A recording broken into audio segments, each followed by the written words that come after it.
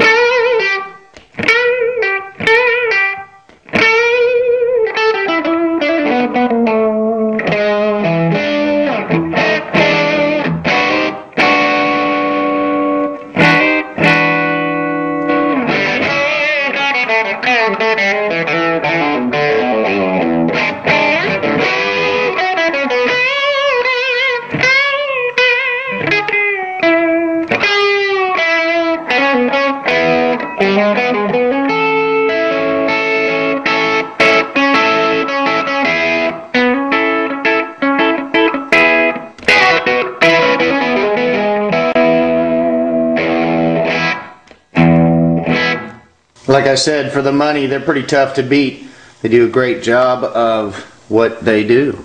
the Gibson SG, the Jaguar Jr. from Jaguar Amplification. Three knobs and nothing else to think about. Single 12 combo, 17 watts, and a bad monkey.